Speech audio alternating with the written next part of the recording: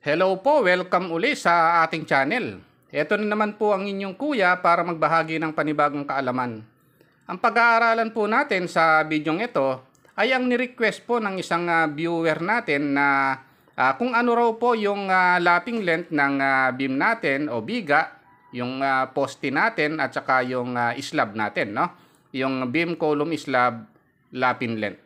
Yan po yung ah, pag-uusapan natin no sa bidyong ito, step by step.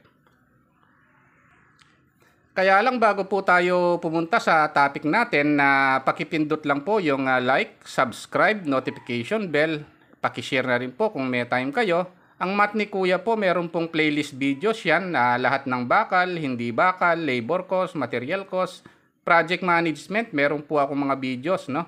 Kung yung mga gun charting natin, tsaka yung per CPM natin, ah, at kung ano-ano pa, ah, para hindi po ma-delay yung project nyo, hindi malugi. Ah, sa mga aspiring contractor po, ah, at saka ah, contractor, pakisilip nyo na lang po. All videos, tsaka ah, all shapes. S- shoutout ko na rin po yung mga ah, engineering ah, program sa ah, student ko na nag-subscribe na at saka magsasubscribe pa. Maraming salamat po. Okay, ah, umpisahan po natin yung ah, topic natin sa slab lapping length muna, no? Ah, dito po sa ah, splice length ng ah, slab, ah, ang ah, slab lapping length po 50D. O pag sinabi pong D, eh diameter po ng reinforcing bars yan, no? Ah, kung 12 mm diameter ang ah, gagamitin nating bakal, ah, bali ang ah, slab lapping length natin 50 times 12 mm, no? So ang slab lapping length natin 600 mm or 0.6 meters. Ayun po yung ah, lapping length ng slab.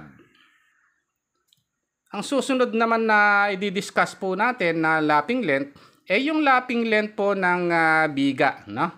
O ng ah, beam natin, no? Pag sinabi pong ah, sa biga, ah, yan po eh 60 din naman, no? Or 60 times diameter ng bar, no?